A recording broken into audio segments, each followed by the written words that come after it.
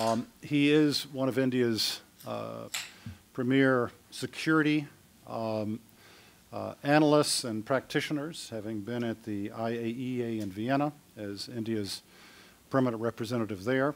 Um, I did, um, we were having a talk upstairs, and I, since for a very long time we have wanted to make the point that our two countries are moving forward together, that the United States is paying great attention to India.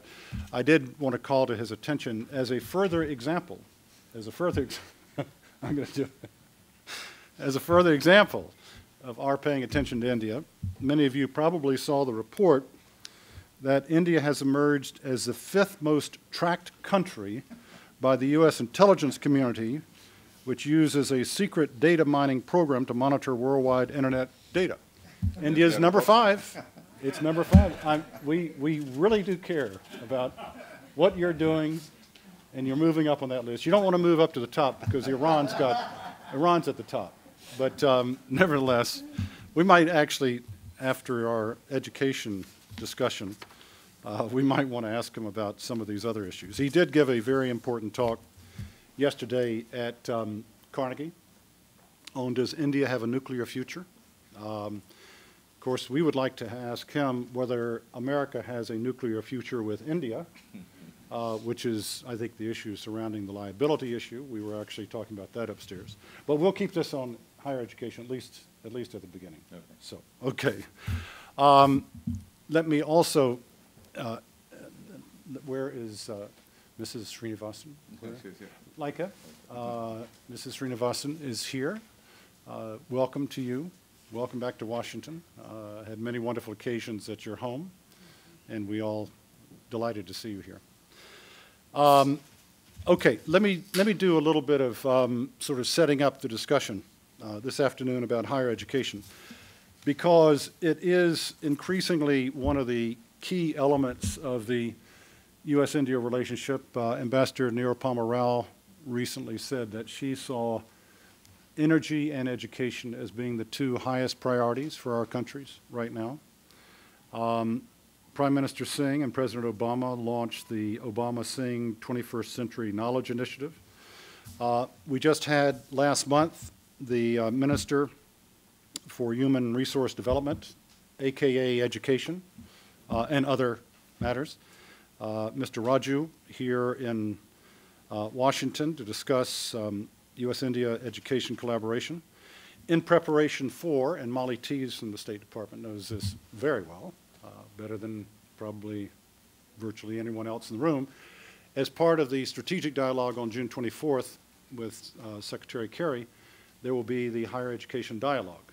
The third iteration? Second. Of the dialogue, and then there was the summit. So um, that will be taking place um, uh, in New Delhi. Uh, in February, Tara Sonenshine, the Undersecretary of State for Public Diplomacy and Public Affairs, went to uh, New Delhi uh, to participate in an international seminar on community colleges, something that Mark Brunner with Senator Warner knows very much about. They've been leaders on that, on that subject uh, from Capitol Hill. Um, Minister Raju uh, when he was here, he talked about his vision for his ministry's policy for the current five-year plan. And just so you will know the range of issues that the minister is focusing on, his objectives include improving the quality of education through training teachers and enhancing curriculum. That would be obvious. Ensuring that disadvantaged groups and women have access to education, inclu including the use of technology in the classroom an increasingly important component of what we're trying to do with education, and increasing the number of skills training programs. He aims to open 200 community colleges in the coming year in India. Through the National Vocational Education Qualifications Framework, he intends to impart India's youth with the skills needed in emerging markets and with a globally accepted standard. So there is a framework for the Indian government pursuing uh, these education initiatives. And even though you are higher education, if people did not notice the report that uh, according to UNESCO, uh, who has just released a report, India has made the most progress of any country in the world in elementary education. Says India has made the largest progress in absolute terms of any country in the world, reducing out-of-school children numbers from 20 million to in 2000 to 2.3 million in 2006. So across the board, the whole question of education in India is getting attention. So I am delighted that uh, my friend uh, Srini has uh, expanded his portfolio, as I said, to include the education um, beat. Um, we have included out here on the table his, his bio.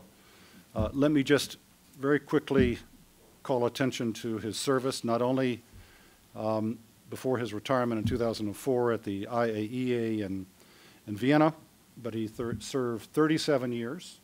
He doesn't look like he served 37 years. I mean, how did you do that? He started at the age of 10. Is that right? Is that right? 37 years in the Indian Foreign Service. Um, Deputy Chief of Mission here in Washington from 1997 through 2000 with Ambassador Naresh Chandra, and that's where we were able to very closely collaborate for four years during those during the second term of the Clinton administration. He's been High Commissioner to Kenya. Uh, also, our paths crossed at the United Nations when he was Deputy Perm Rep uh, at the UN. Uh, he has been Ambassador to Fiji. Uh, he's been assigned to Tokyo, Thimphu, uh, Yangon, all of these places. So, what do you do when you've had 37 years of experience? You write a book, right? and what do you entitle your memoirs? Well, this is his book. Words, words, words. Adventures in Diplomacy. Highly recommend this book. A great account um, by a, a, a, great diplomat and a great friend. Um, he is, by the way, he's been on so many speaking engagements. He has told me that he is going to do a new book entitled Talk, Talk, Talk. Did you know you were going to do that? I got the idea now. Okay. Okay, I think I've got the idea, which is to say thank you, Ambassador Sreenivasan, Vice Chancellor, for being here. We um, like to turn to you now for your remarks about higher education, and then we will open this up for discussion. Srini, thank you very much.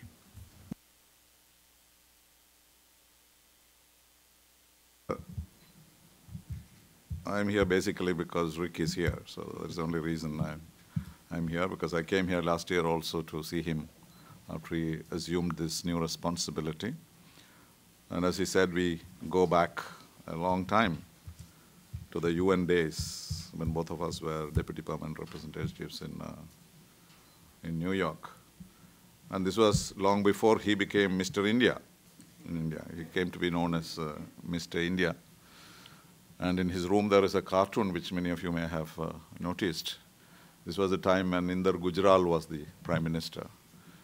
So somebody is saying, are these brothers, Inder Gujral and Inder Firth?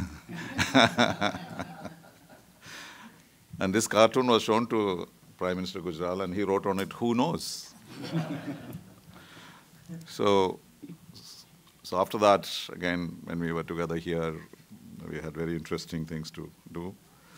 So it's, it's basically a pilgrimage for me to come and see him every year at least, and that's one of that. And this time when I offered to speak at the Wadhwani chair, I offered many subjects, you know, mm, of nuclear issues, or India, China, or Japan, or whatever. And I said, I mentioned also higher education, because since I've been in higher education for at least one year, maybe.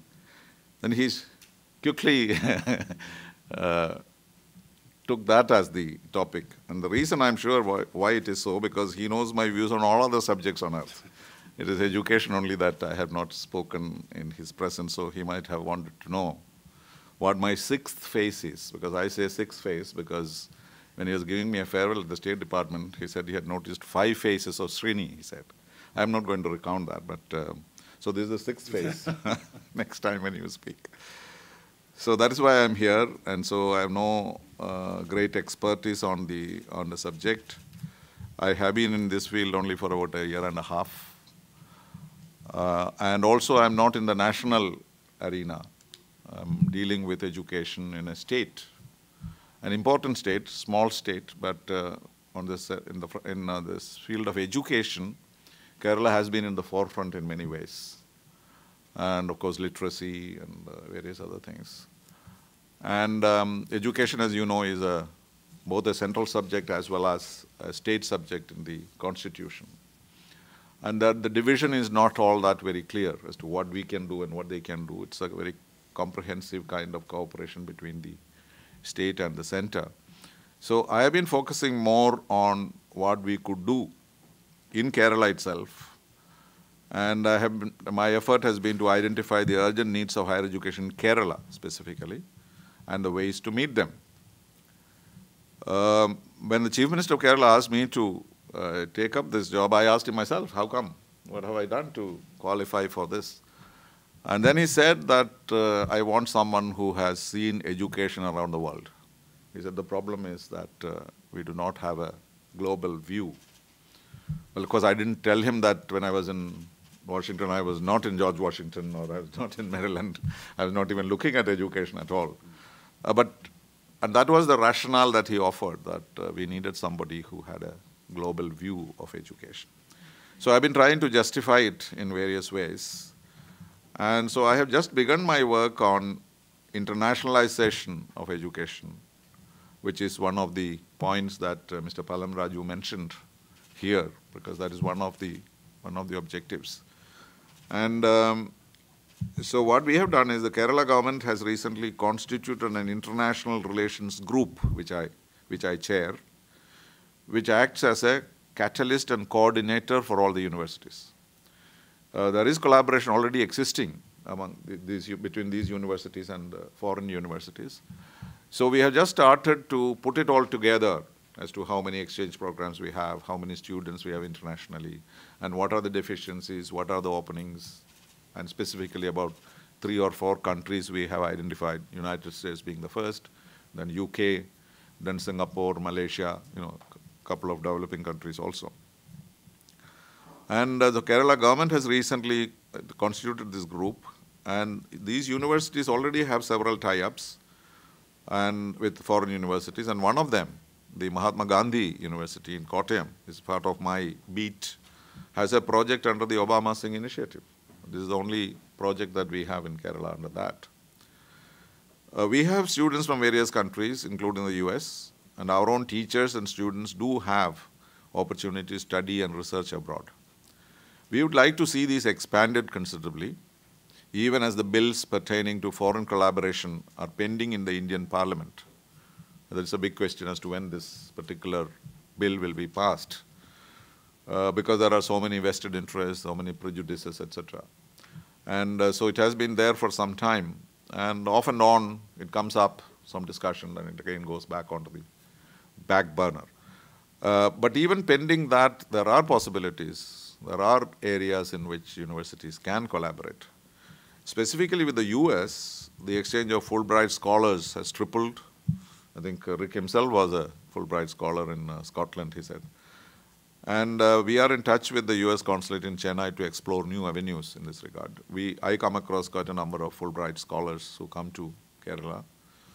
Uh, the mo most recent one was uh, Professor Behegat from the National Defense University, whom I'm meeting tomorrow. And uh, then two schemes we have recently drawn up, we have identified for further action with, together with the US, are India study programs in various universities to enable US students to spend a semester or more in Kerala, and a master's program specifically meant for American students. In these schemes, particular emphasis placed on Kerala history, culture, fine arts, indigenous medicine, martial arts, etc., for which there is a there is a demand, which will fit into the India Studies program of the universities. And this is where we have the biggest uh, uh, impediment, or shall we say, biggest issue, is how to convince American universities that uh, these are areas in which you can provide the kind of training, education, which will fit into the pattern of education here, in the sense that the credits transferred, how that curriculum is formed, how much of it will be useful for job seekers in the United States. And that is a hard job. I have been talking to a couple of universities on this, and they are very, very strict about these standards. If I just tell them you can come and do Ayurveda or alternate medicine in Kerala, they are not very convinced. They would like to know what you will teach, curriculum, etc. So, and that is the process that we are going through. Uh, we expect to have these courses begin in the next academic year, provided we get uh, enough takers from the United States, with special, special facilities in the academic campuses, because we know that these facilities are not adequate at the moment. It's one of the problems that we have in most universities. We don't have the kind of hostels, the kind of food that we can provide to, uh, you know, sophisticated palates. And that is a, that is a problem. And we hope that India-US collaboration education gathers momentum. The universities in Kerala will play an active role. So that is my, uh, the limited kind of work that we are doing in this area. And moving on to the national scene, we have been following closely the development of education as an important part of our strategic partnership, and that is very significant. Uh, as reflected in the Education Summit in 2011, Mr. Pallam Raju's recent visit to Washington, and the expected exchanges in the forthcoming dialogue in New Delhi. Uh, as two knowledge-based economies, I think that is one thing which uh, common among between us. We have worked together in education even in the old days of the Cold War. Uh, you more students came to United States than they went to Soviet Union, for example. So it was not an ideological problem at all. We have always had close and uh, and, and, intimate collaboration. And if you look at the, uh, the academics of Indian origin in the United States, you will find quite a few of them who had their basic, basic education in India, but with the opportunities they had in the United States, they blossomed into great scholars and academics. So the credit that we take for it is, of course, they say that these people, if they had remained in India, they would not have been such great scholars.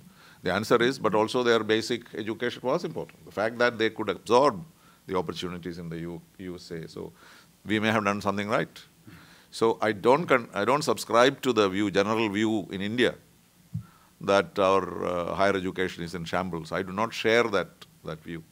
And that view has emerged because of the ranking system. We can probably discuss it if we have the time. And uh, everybody, including the Prime Minister, laments every time he makes a speech saying that we are not on the list, on any of these lists of 200 or 300 or even 400. How come? What's happening? What's happening? This question is raised all the time. I've gone into this a little bit, but I'm not touching upon it now. But um, uh, the the presence of this vast cadre of brilliant academics of Indian origin in the US is testimony to the synergy of the past and today, of course, it is estimated that about 100,000 Indian students are in the US, not counting the non-resident Indians. You know, people who have come to the United States for the sake of study, often paying their fees though, all the way through, is supposedly about 100,000. And uh, there are only 2,700 Americans. And I said this to the ambassador yesterday. She said, no, maybe it's a little more now. It's about 4,000, she said. But the figures that I saw somewhere was 2,700 in India. And they are only doing short courses. They don't come for degree courses, but they come for short, uh, interesting courses like Sanskrit or Ayurveda or whatever. So the full potential for collaboration can be realized only by the identification of complementarities in the two systems. And that, I think, is what is the exercise which is taking place. The long history of interaction between the academics of the two countries and the presence of the large Indian American community in the US together with the language advantage, because if we went to China, we would not be able to talk to them as much as we can talk to you, though we speak our own version of English, but at least we have that advantage. So the presence of the Indian American community, the language advantage, and the identification of complementarities in both two, these two sides should lead to greater collaboration between India and the United States in the field of education. And I'm one of those who, who uh, feel committed and also feel encouraged by this potential. Uh, we have an eminent uh, educationist in Kerala, Dr. Achyut Shankar Nair, uh, who has been giving some attention to international collaboration. He's our main man in the Kerala University. And uh, after I came here, I sent him a message and I said, Is there something that you would like me to say? And he said something very interesting, which I thought I'll read out to you. So he took a an image from the oil industry talking about India-US collaboration in education. He says, whereas the US possesses an excellent knowledge refinery in its university system, India has immense crude material. so, and, and this what he calls human resource with great potential that awaits to be made the fuel of economic progress in the world. So I thought it was a very good imagery. so you have the refinery and we have the crude. What we need to do is to refine it and present it to the world. I thought it was an interesting one I should share with you. And he also said the Indian university system is waking up from its slumber and positioning itself to leverage this. And so it's an opportunity and the, the stage is set and the willingness is there on both sides. So the mutuality of this endeavor is beyond question. The needs of India have been identified. So in this process of dual, what we can offer, what you can offer, our needs are fairly clear in the many reform reports available. And my responsibility is basically reform. I have no administrative responsibilities in Kerala higher education. My job is basically to see whether something new can be done. So we endeavor constantly to get our universities to the level of world-class universities, listed in world rankings. But more importantly, education in India aims at four things which our leaders always mention. Expansion, equity, excellence, and employability, the four E's which we are trying to get. We have accomplished expansion to a certain degree, uh, though we are below many developed countries in enrollment rate. So if you look at enrollment rate, it is around 15. So from, a, from an elitist education, we are going, moving to a mass education. And Kerala is better than the national average. Ours is about 17%. And the target for 2020 is 30%. And that is really, really dramatic. When Sibal was here, when Minister Sibal was here, he spelled out those numbers. You know, 4,000 more colleges, 1 million more teachers. Anyway, but I'm not a great uh, uh, fan of uh, expansion beyond what is necessary. And uh, so, uh, more than expansion, I would, I think we have, it's not the new colleges and universities and new teachers that we want. I think what we need is refinement of uh, the education system.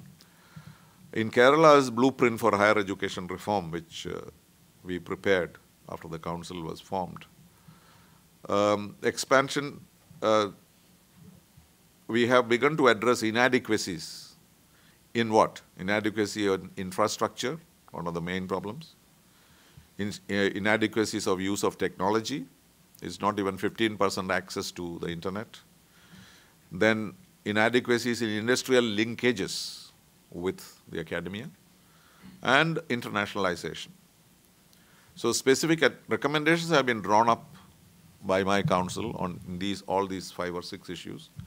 And we already submitted reports to the government of Kerala on all these aspects on uh, on infrastructure, on technology, we have started what is called uh, IT at colleges program. Training of teachers, we are setting up a faculty institute. Research, we are giving a lot of importance. For the first time, Kerala has decided to give autonomy to colleges. We never had autonomous colleges in, uh, in Kerala before. Then we have a specific plan for industrial linkages and also, as I said, internationalization. So on each of these, what I did was, because I couldn't, I didn't know any of these, so I appointed experts in each of these areas. And uh, we have submitted reports and the government is in, this, in different stages of implementing our recommendation. So we have decided to establish um, autonomous colleges for the first time, to set up a state accreditation and assessment council, because we now have a national accreditation and assessment council. But the University Grants Commission has recommended that there should be multiple bodies who do that.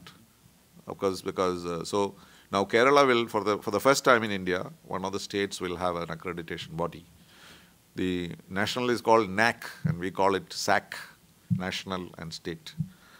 And that is in the finalized final stage of uh, set, being set up together with, but of course, uh, this will, will supplement and complement the national assessment uh, rather than, but we have given some new criteria.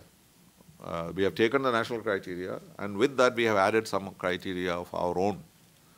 uh, which is special for Kerala situation. Again, that we can discuss if you are interested, because the Kerala system is somewhat different from the traditional education because we have what are called aided colleges, where the salaries are paid by the government but managed by private. They are not private universities. They're as good as government but managed by private. So there are certain things that we have to do in terms of, uh, uh, you know, criteria relating to performance because of this particular thing. And also we want to include something which the national accreditation does not do, is to uh, judge teachers, to provide them incentives and disincentives. I think when Mr. Raju was here, I was told by the State Department today that he mentioned that there's been dramatic increase in the salary of teachers, university, which is very true. A university teacher uh, gets as much as the vice chancellor gets. This is because we brought in what is called the UGC scales. But the unfortunate part was UGC scales were given, but UGC standards were never adopted. so they thought it was a gift and they took it home, but nobody is working harder than uh, before. I started off as a college teacher back in, uh, when was it, Lekha? She was my student at that time. uh, so my salary was uh, rupees 125, which is today's uh, rate of exchange will be $2 per month. That's what uh, I drew.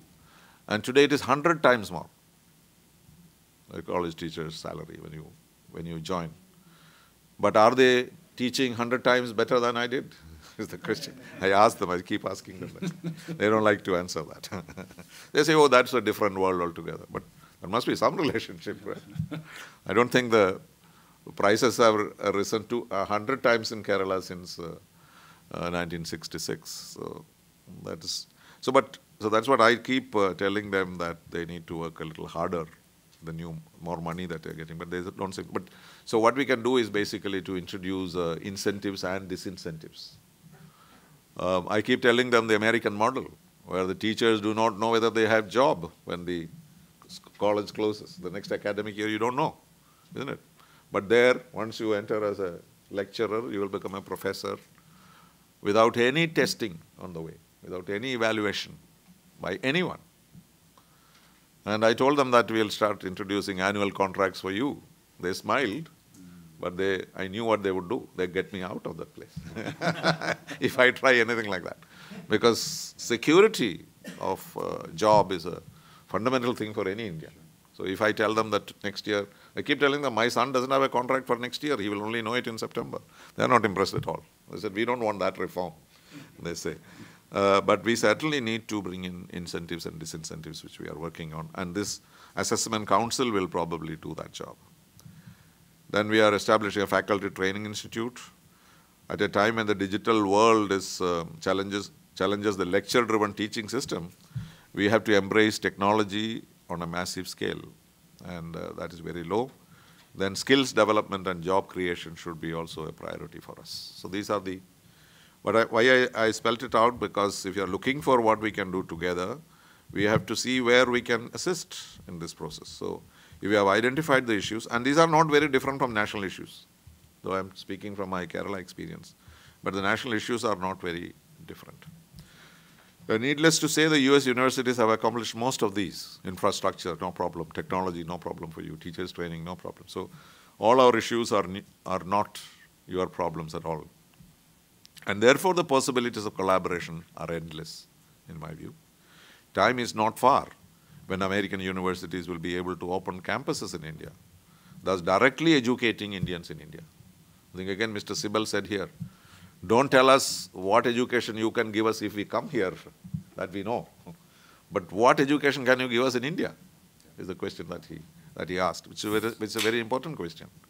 Because the disparity in income, disparity in expenses, Therefore, it's important. And I think it was uh, Sam Pitroda who said the other day, in India you can get a degree for $2,000. Here, here you have $45,000 a year. If you, so you cannot compare. Therefore, we need to uh, think about. Uh, um, once the bill comes, I'm sure the American universities will, will open their doors in uh, India. Of course, there are difficulties, uh, problems because these universities will not be able to make profit in India. Even if you make profit, you will not be able to take away from India. So who will come is the question that many people ask. But the answer is very, very good. Everybody wants to come. Even before the bill is adopted, uh, people are already looking for campuses, land in India, many American universities. So they are coming not to make money, they are coming for a different reason. Maybe the, the raw material that Dr. Nair spoke about. And you can in institute some refineries and we can get these people out into the. Uh, the uh, several university research centers are already operating in Indian cities. Just a few days ago, I met the Columbia representative in Mumbai, who has set up research centers in Mumbai, and and actually he's uh, giving those results to Columbia here to understand poverty issues. You know, oh. so that's already happening, and he's not getting any money from India. All his expenditure comes from Columbia, and the results are available to the Indian government, whoever else wants it. So, and that is the present stage, but that can move on to a greater stage of collaboration. The polytechnics in India, there's something called polytechnics in India, were actually modeled on the community colleges. Many people don't seem to remember it, but um, uh, when I look back, I found that it was on the basis of, we didn't call them community colleges, but they were called polytechnics. Uh, but now there is a great emphasis on community colleges, as you may have noticed in uh, Sibal's talks and Pallam Raju's. So, and I think they even went to Montgomery, you know, community college to study the situation there. So we may, so we already have polytechnics, but the difference between polytechnics and community colleges is there they go after higher secondary. They, graduation is not necessary because it is a diploma course. Uh, so when in community colleges, maybe it can, it'll lead to a degree and without losing the technical aspects or vocational aspects of it. Um, so the there is a program of expansion of such institutions is on the anvil to develop our workforce. The importance of creating job pools is a priority for both India and the US. Knowledge networks and th that link research institutions in the two countries will be of immense value. International research collaboration now holds the key to competitiveness in the global knowledge economy. And in the 12th, 12th five-year plan period, which we all keep repeating, this is 212 to 217, we have a specific program of allocation of resources. Special efforts would be made to strengthen international research linkages and involve a large number of Indian institutions in forging such links. Such collaboration would leverage the Indian diaspora, which is recognized worldwide as a powerful asset for research, innovation, and entrepreneurship. The US experience collaboration between the academy and the industry should be of immense value to India. India would be setting up a body to promote such collaboration in the fifth five-year plan. The corporate sector could participate in existing higher education institutions by setting up of institutes offering degrees in specific fields, creating centers of excellence for research and postgraduate teaching. Uh, establish teaching training centers to train, to train faculty. Then appropriate corporate bodies in the US, such as the US India Business Council, should be able to work with CII and FICCI who are in the field. in Kerala, of course, we have a big handicap here because we do not have much industry to speak about uh, because of our history of, um, you know, union problems and so on. But now we have a knowledge industry which is very active in Kerala, so we are tapping those resources.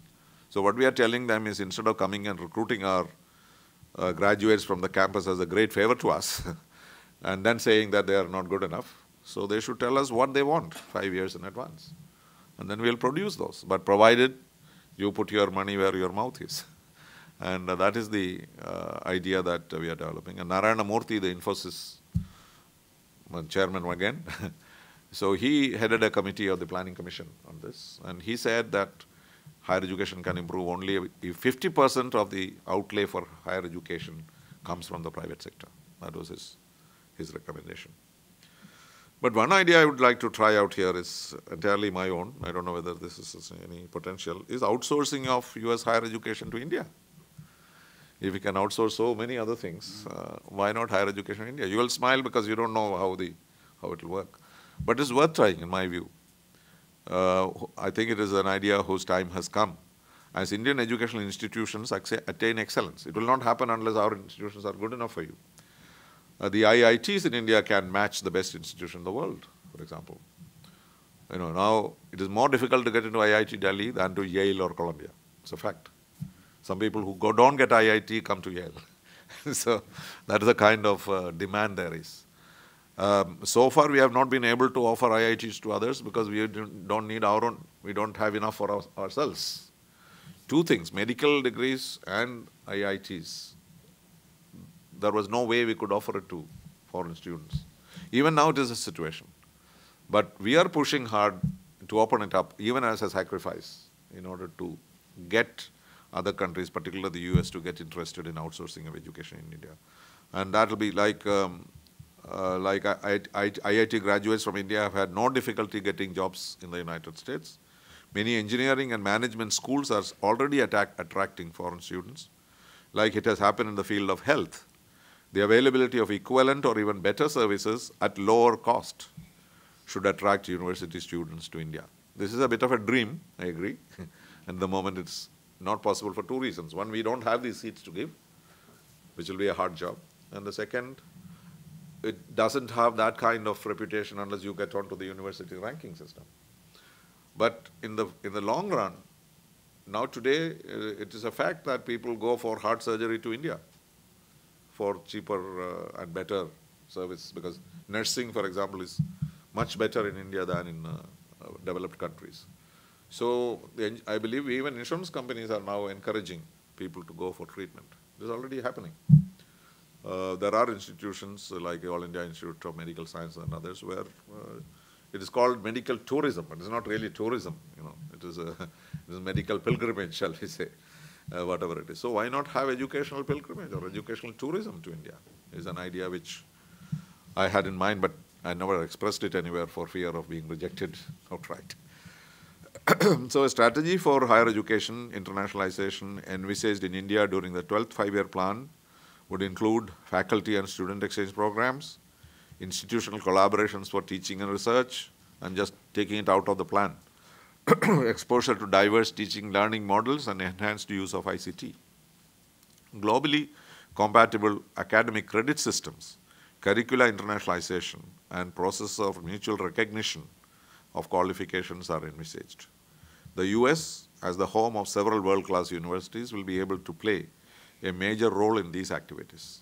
I have no doubt that these areas will engage the attention of our leaders and planners when education becomes the driving force in the forthcoming strategic dialogue. Thank you very much.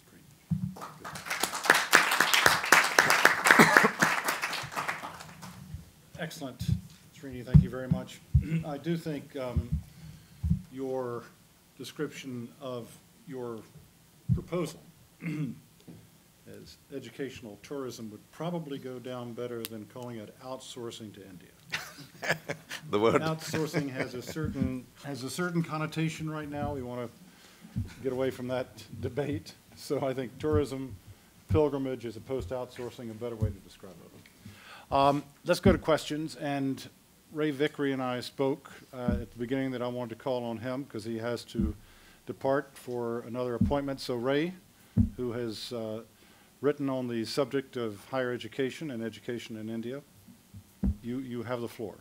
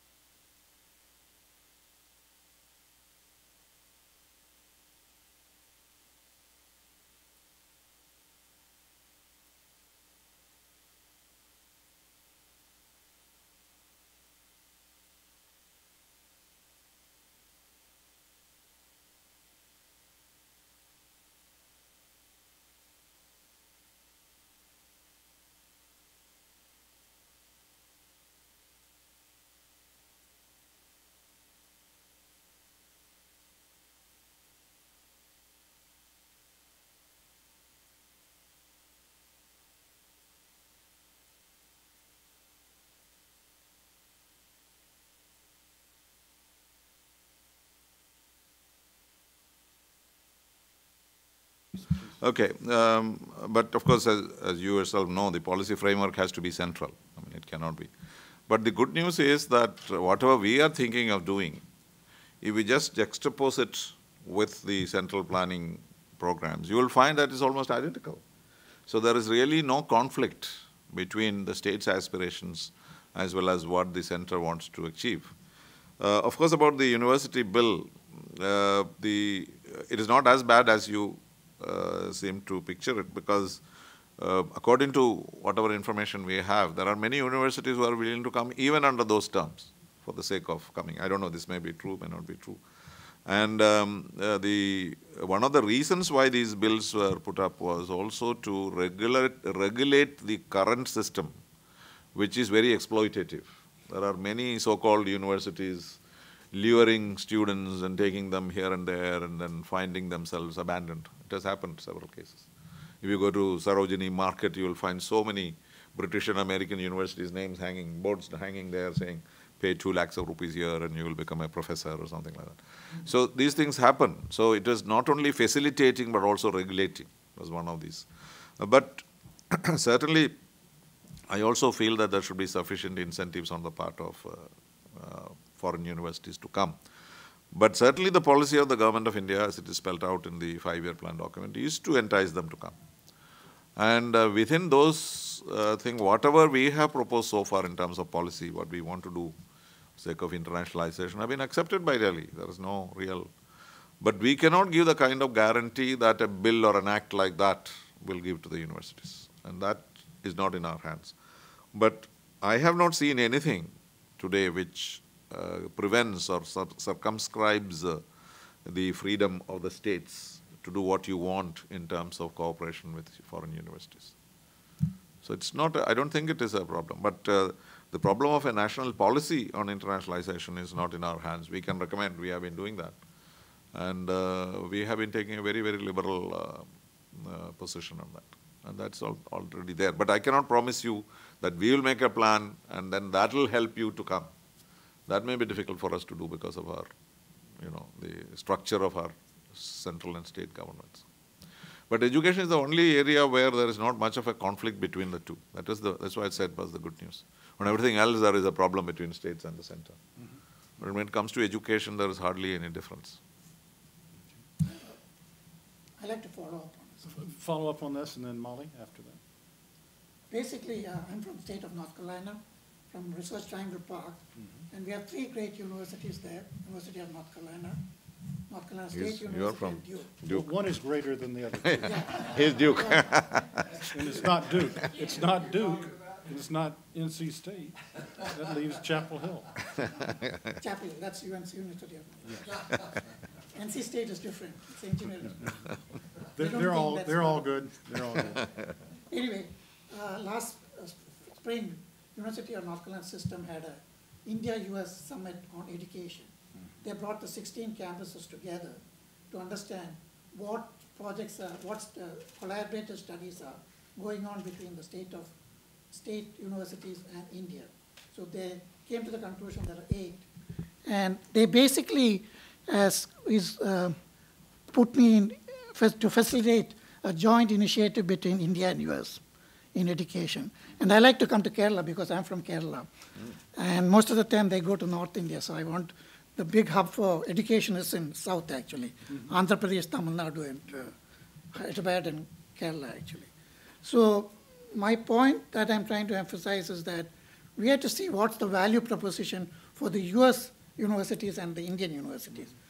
US universities, as you know from North Carolina's perspective, the state has cut a lot of funds and the state universities are suffering from getting money from full-paying tuition students. So they look at India as a good opportunity because India has, by 2020 will have 50% of its population under the age of 30. Is that right? Yeah. So there is a big opportunity to bring Indian students to study in North Carolina. So that is the value proposition that North Carolina is looking at.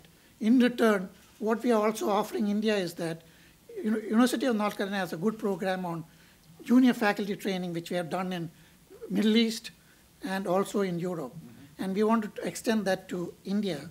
And we have planning to bring 200 junior faculties from India, and we had presented a proposal to the Minister for Human Resources on uh, May 14th to see if he would encourage that. And if the funding is not available, we're also working with the World Bank to save funds can be available. So it has to be a two-way traffic where everybody is benefited. you know. So my point is that, uh, as Srini has said, that uh, universities are coming to India. I don't know how many of them, because I know Duke tried to set up a campus in Delhi and it flopped out because of this issue. Do you have your card? Yes. Can I? Do you have your card? Yes. I Can I have it? I don't, Do you have a card? You don't have a card? No, I don't. Srini But has come, I'll- I'll take his- Yeah, yeah, He knows him No, no, seriously. he- he's come to North Carolina many times. Absolutely. Okay, because That's agreed. if it can't be, you know, um, North Carolina and India, do North Carolina and Carolina. Beg your pardon? Have a sister state, a brother state. I would like to develop one. Actually, I was in Kerala. Done, done. Okay, so. So before you come, he comes. Don't wait, don't wait, don't wait for me. Uh, That's good, okay, but that's a great idea. Yeah. That's a great idea. But when you said two-way, you only talked about the students coming here and the teachers coming here. Who goes to India? That's what we are, we are bringing junior faculties To here? to here to train them because India not, needs both capacity and quality. So we No, but which is the two-way in it? is that we are going to provide training to junior faculties. No, but what I was saying was this balance is the problem of American students not This going is the there. one hundred thousand versus Two thousand Yeah, I'm- two hundred. thousand seven hundred. I can tell you an example. In North Carolina, we have started an Ayurvedic center, okay? And the North- state of North Carolina is giving licensing for Ayurveda. And the Kerala University can meet those req- requirements, and we can send students there for. Yeah, that is, that is attractive to us. Okay, and I'm from North Carolina, Ayurveda. so if I come, it's part of the two-way. Part of the right? day too. So, Very good, thank Molly, you. you, when Yeah, you I you just- also introduce yourself, uh, we'll start going around the room now, and if you could Thank you. introduce yourself and your affiliation, be great. Um, Dr. Molly Teas, Senior Advisor for Education, U.S. Department of State. Um, And of course, as you mentioned, Ambassador Inderfurth, I've been working closely on uh, U.S.-India building partnerships. I think so many of the things you say are exactly, you know, the things we've been talking about together, music to our ears. I just wanted to build on what you said and then ask a question. Um, I do think exactly right. The state, these kind of state-to-state and city-to-city relationships are really the future. Okay? Ten years ago in India, I was working for the World Bank, worked on polytechnics there for years and basic ed. Um, we weren't encouraged to do state-to-state sort of things. It was all national focus, but that's really changed. And what I see is that through these development of relationships with a university system, and then that grows to perhaps the governor and a larger, the community colleges in North Carolina, that's where the deep relationships grow, and that's where down the road, if regulations change, then maybe there's interest in establishing more of a, of a presence, you know, both ways. Um, it's great to see Mark Bruner here from the state of Virginia. They are, they have done some amazing outreach, and I think, um, you know, focusing on a particular state and leveraging the, the um, uh, sister cities, for example. You know, there are volunteers, and they've got sister university programs, right? So these are long-standing relationships where people have, uh, they know each other already and are willing to extend it often to build in school and university partnerships. Um, you mentioned the India Study Program idea, and I didn't know how that might link. As you probably know, we have a large national resource center program called, it's funded by Title VI funding uh, through the Department of Education, and it uh, is really funding to make sure that there are enough Americans who understand foreign cultures and languages.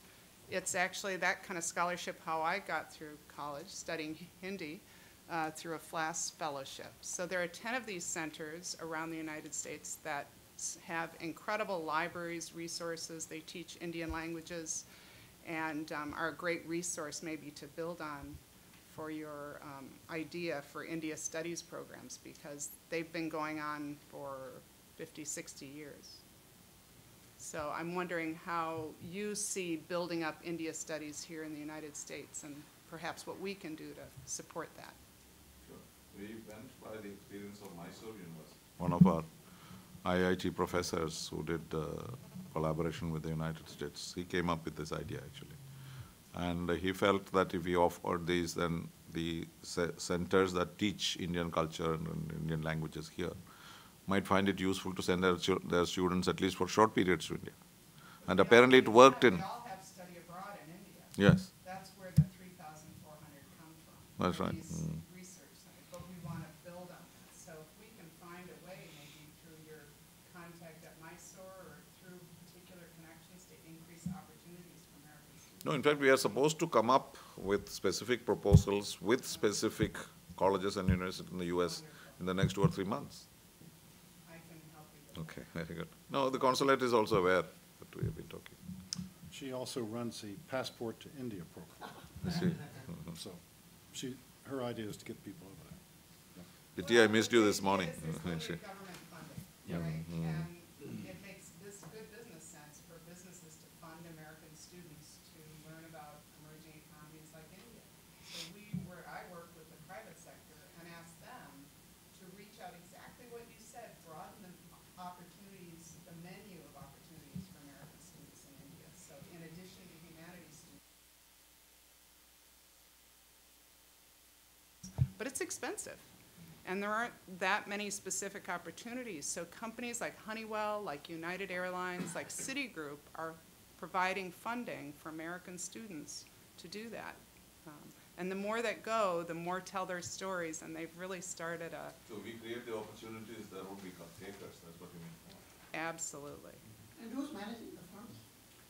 Um, so the way the partnerships work is that the funding does not come through the State Department. There's no tax dollars being spent. This is just me matching a company with an institution or program of their choice, or um, many of the people work for that company as interns. For example, the Honeywell Passport to India interns are working at Honeywell in Gurgaon as interns, fully paid. But uh, United Airlines wanted to join the program. Well, nobody wants to do, you know, an internship at the airport, at the Indira Gandhi National Airport at the United, right? So what made sense for them was providing free tickets for students who would like to study abroad in India but who can't afford it. And they chose to support students at University of Chicago and uh, University of Texas Austin Hindi Urdu flagship program. So students who wanted to go to India for a semester abroad can now go thanks to United Airlines. Uh, Citigroup is actually funding the Columbia University Columbia Experience Overseas students that you met in Mumbai, and they're another one of our partners. So without the Citigroup funding from, it was Mr. Pandit's office, um, this CEO program wouldn't have had students there this year. We're really excited about that group. Not sure an internship at the Indira Gandhi International Airport is a bad idea. United Airlines, it wasn't their first. Compared to what it replaced. Great- great I'll, I'll work on. Delta for that. Great airport. It's got a massage, you go in. Okay, please. Uh, Thank you, Raghuveer Goyal. Uh, My question is, Mr. Ambassador, first of all, of course, welcome again to Washington, and we all miss you. I'm sure there's even ambassador in the court. Um, I had asked this question in the White House when uh, former U.S. Secretary of Education, Mr. Bill Bennett, was speaking on the U.S. uh, India education. And my question was that about the, and now he has written a book. I just got an invitation from him next week. He said that uh, I want to invite you for this. Uh, is college worth? That's the name of his new book next week. Um, same thing we are discussing here. My question is that uh, where do we stand now as far as the Singh Obama Knowledge Initiative was uh, announced, and also, of course, also we had a press conference with Mr. Uh, Kapil Sibal. Um, they were talking about basically technical education for the masses of India.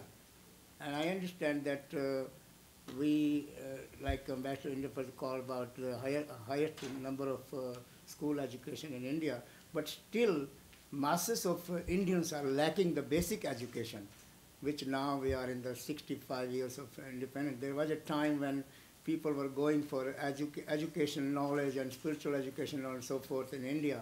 from all over the globe, but after that it was destroyed by a number of invaders uh, uh, by the time when India was invaded by so many.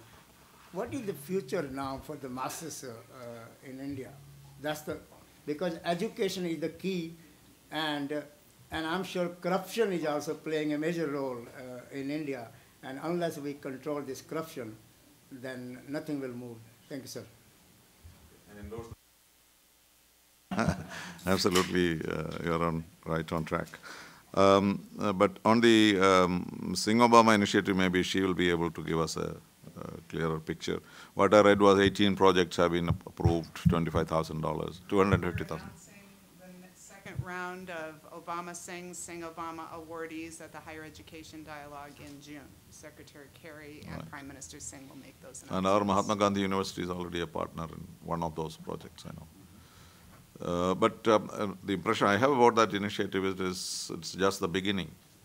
You know, it's a rather modest program.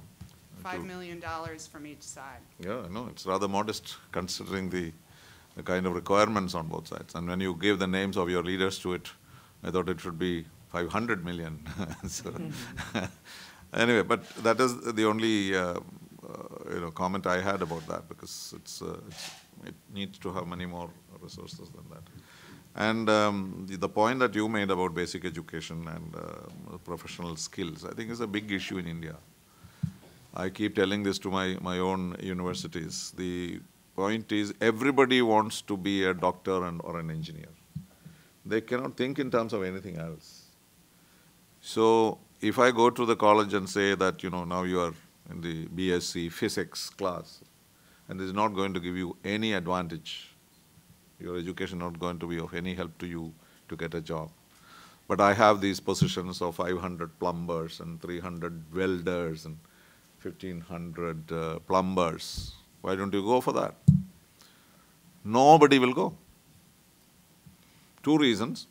One is there is no dignity of labor in India because we are associated with the caste system and various other things. So if you are a plumber, you should be born a plumber in a plumber's family. And that mentality we haven't overcome. And so, no, no, uh, there will be no takers for the kind of basic education that Mahatma Gandhi suggested. You know, he said that at that time. Don't produce all these uh, clerks for the British Empire. Educate yourself for uh, skills. Uh, but nobody listened to Mahatma Gandhi, and nobody listens to me either. so, so that is uh, one big issue. So what he will do is he will go for his BSc physics, he'll go for MSc physics, and then he'll become a plumber because there's no other job available. But he'll be an MSc plumber, you know. So what, what a national waste to teach him all this physics and chemistry. Um, the, that is really the issue, and also the salary structure. This easier the job, the better the salary in India, unlike here. Here, the harder the job, the better salary, I think, I presume. But there we have.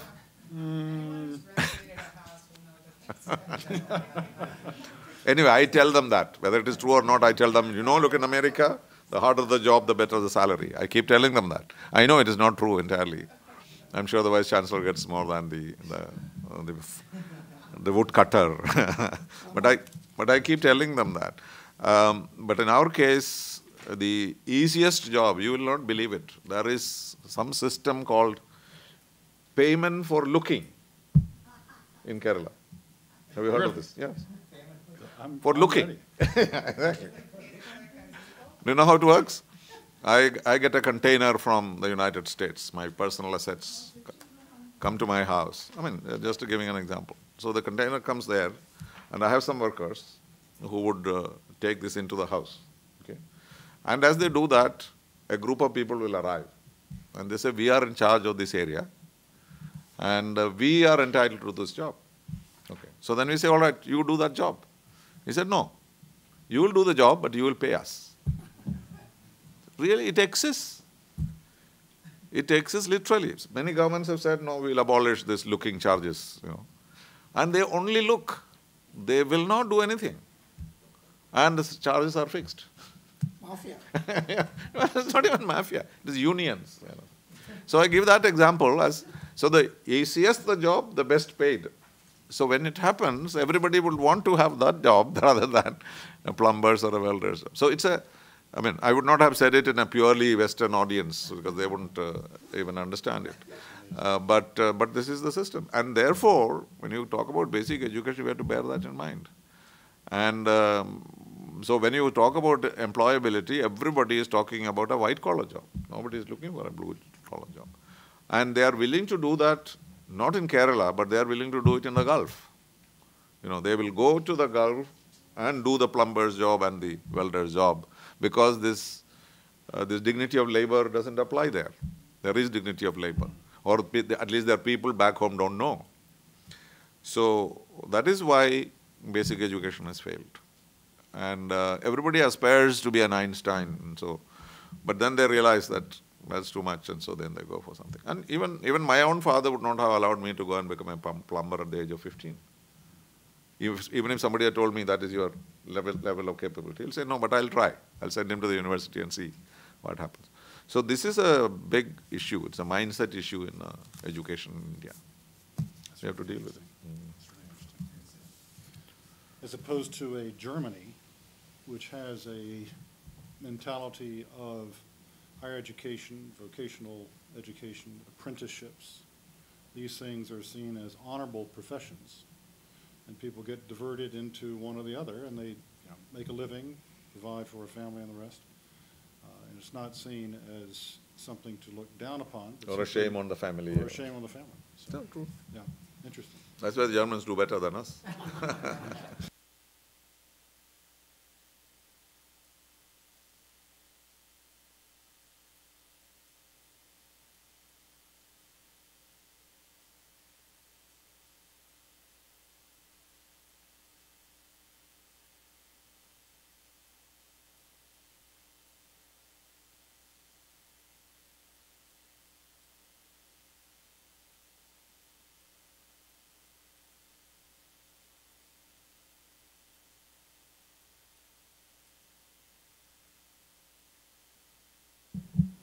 with an MOU uh, for exchanges.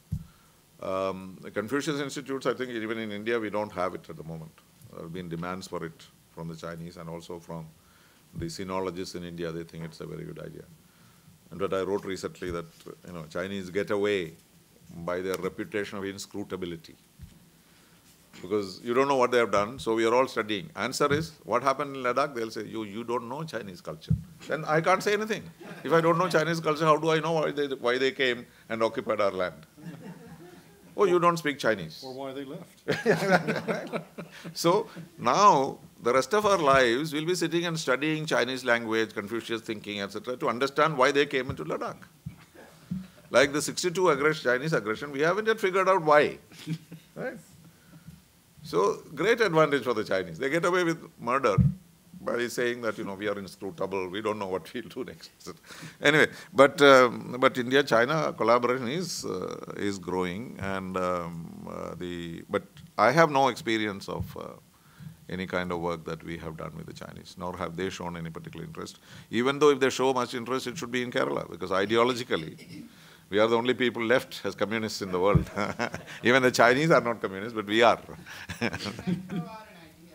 on that. The model's brilliant when you think about it. The first Confucius Institute is here at University of Maryland College Park, and I took Minister Sibal there because uh -huh. I uh-huh. really wanted them to see, you know, the free Mandarin language, the integration with the faculty, this interesting free resource for the not only the university but the whole community. And I think one of the things that we talked about and that I've talked to Ambassador Rao about is the idea of Tagore Institutes in the U.S. We don't know enough about India. Yeah, Obama Singh could be bigger. Yes, the Fulbright, Passport to India could be bigger. But this idea of a, of a small institution that does some language study and some cultural programs at an institution that everyone respects, I think is a very powerful one. Do you worry about uh, brain brainwashing You know, I don't know how many hundred there are already in the United States, but they've welcomed them because it's really free language and everyone wants to learn Mandarin. In the greater Washington area, there's nowhere to learn Hindi. okay? They're My, setting up a cultural center. no, no, unless you hire somebody's granny's nanny out in Fairfax, Virginia or something. But the idea of, you know, to bring the great elements, just like these Confucius Institutes do, they have the scrolls, they do a tea ceremony, it's Fully all. by the Yes, sir, four billion dollars of cultural diplomacy money a year. Well, they do have Hindi at USDA, and I've done Hindi and Mandarin. Well, do there, there you go. Students, year one in Mandarin, four in Hindi. There you So there's go. not an interest in it yet. I think, I think it's a, it's a chicken and the egg. Yeah. I do think more, hmm. the potential is there. The, when the Kennedy Center hosted the India event, I sillily thought I could take my kids and family. The lines, as, if you tried to get there, the lines were all the way past the State Department. Just a thought. Yeah. Well, I do have. Yeah, I- I did want to say, uh, just, just one point for the, you know, Ray talked about some ways that, you know, hopefully states could be more progressive in pressing the center. There's one particular issue that I've been following very closely, Rick Rossow with McLarty Associates, um, which is, um, uh, one thing that companies hate is this two percent mandatory CSR initiative in the company's bill, but it's going to happen. Um, Something the finance minister mentioned in his budget speech, though, that I think is very, very interesting, is that that money could potentially be used to fund um, uh, business incubators at universities. That could be a huge door opening to a tremendous source of funding, and so many of America's greatest companies that we take great pride in internationally were, were built in these business incubators at universities.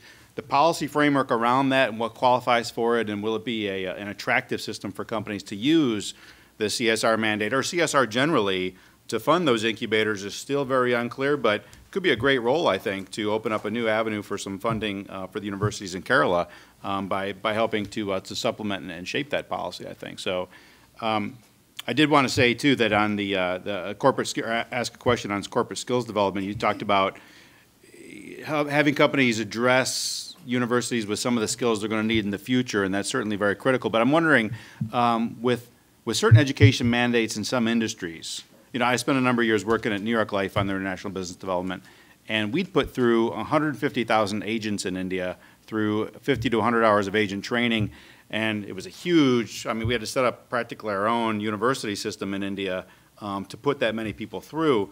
And I was always raising, why don't you talk to universities, that kind of stuff, and there always seemed to be kind of a bright line, but a lot of industries in India have these mandates of, of, of startup education to get a license and ongoing education. Um, has there been much engagement uh, with those groups?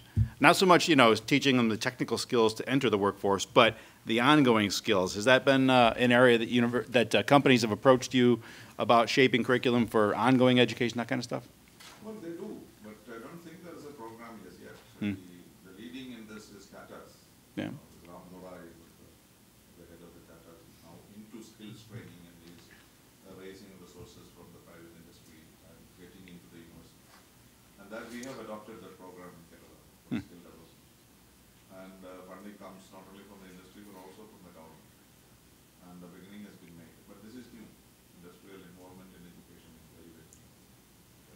I just couldn't understand. I mean, we had all these training centers all throughout the country that we'd set up from scratch, and professors at each one teaching the basics. And it's like there's Some school, yeah. Not New York Life specific. You, you, you take well, yeah, because you, I mean, you have to But give that's the somebody end part, That's the training at the end. from from whatever they had to being able to go out and sell an insurance policy. So teaching them about the basics on finance, that kind of stuff. So it No, see, was then that's basic stuff, Yeah. yeah, that's not New York Life stuff. okay. thanks.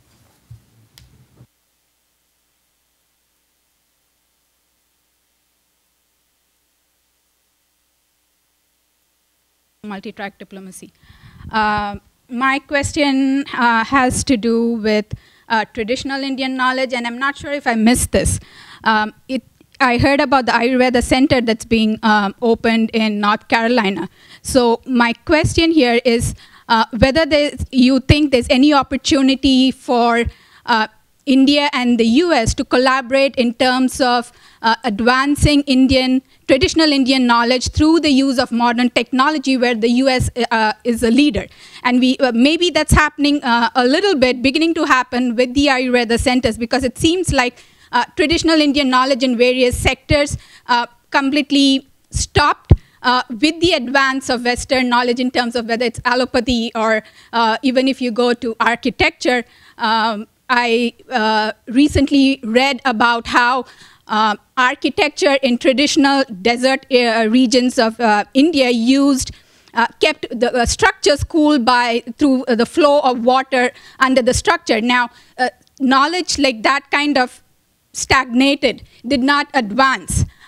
Is there any scope for collaboration in terms of using modern technology to engage traditional Indian knowledge to see if that can go further? And it seems like there's demand when you see all of the uh, tourism that's happening, uh, uh, medical tourism in terms of uh, Western um, people coming to uh, for healing to Kerala. Similarly, in, it seems when you look at the current um, uh, buildings or structures in India, and if, if you look at uh, sustainability, you're looking at a country that has hot climate, but you, the wind it's closed, and the energy you use in terms of air conditioning and all the rest of it does not make sense. Uh, and it seems like we did not sufficiently engage, or we stopped engaging in the advancement of traditional knowledge that's indigenous and that uh, would be, uh, I feel, of use. So I'm wondering if there's any scope for collaboration in that area because the US is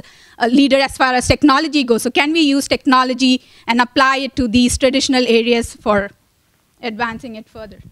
In fact, it's happening in a big way, in the sense that if you now go to Kottakkal, for example, the, the original place for Ayurveda, you will find the technology they use is not the ones that they used uh, originally. The medicines are the same, but the ingredients are the same, but the tablets are much more sophisticated. There is greater amount of diagnosis done, and so on. So it is happening. And definitely, it has to increase in order to attract because there are certain countries where Ayurveda is not even allowed to be practiced because it is not considered sophisticated enough. So, so it is a beginning of a process, and um, it, it can only do go happen through uh, greater collaboration with through countries. So this is very important. And once we have more requirements, say for example Ayurveda, then naturally people will invest more in technology. So it's a two-way. And uh, that's already happening in the traditional areas. Uh, technology is being used to a great extent, and uh, this kind of collaboration, if it takes place, that will even help more in the future. I'd like to add an example of reverse engineering. In the state of Andhra Pradesh, they have a lot of problem with lead in the water. They use mud pots to percolate the water through to get rid of the lead. And state of Virginia had the same problem in southern part of Virginia, and they have adopted that technology. They were using heavy, expensive membranes to sort of remove the lead, but now they're using mud pots to. So is there scope for this happening at the university level? I, I know of NGOs and smaller Yeah. uh, people that are I getting think the into Indian this government should but it take doesn't seem to have caught the attention at the policy level, whether it's the central government or, you know, and get it into the university uh, system. We have a last question, Dr. P. Uh, Thank you, uh, Rick. Uh, Good to see you again, TP. And uh, simple question. We have talked about variety of in US, India, India itself, uh, issues of higher education. Can you tell me what is the low-hanging fruit that we can immediately put to use or go after it and that will have a big impact? What I outlined, the long-hanging fruit that we are looking for. No, no, no, not too many. I mean, I, I probably am very. The lowest Yeah, the lowest, lowest is having these uh, semesters in India for India studies. And, uh, and maybe some courses to be designed in order to attract American students to India. Those are the immediate things that we are doing. So, and that, that we are working on it very diligently on that. Maybe next year when I come, I'll come and tell you that, yes. Excellent. Um, I, th- if we can get your remarks. Yes, I like to have a- Put them on our website for all of you to be able to have access to. And we'll also put uh, Vice Chancellor Sreenivasan's uh, coordinates and contact information. So when you make your next travel to India, come to Kerala. Can I invite them on your behalf? Yes, absolutely. Come to, he's Absolutely. not gonna put you up. Not, you know, But he would love to see For you. collaboration, yes. All of you that are involved in India, in Just education. Follow him on Twitter as well. Yeah, he's my follower, yes. Okay. Yeah, do, do that, uh, but I think that we all have an excellent contact on this particular subject, as well as others, uh, in Kerala. Thank you so much. Thank you very much.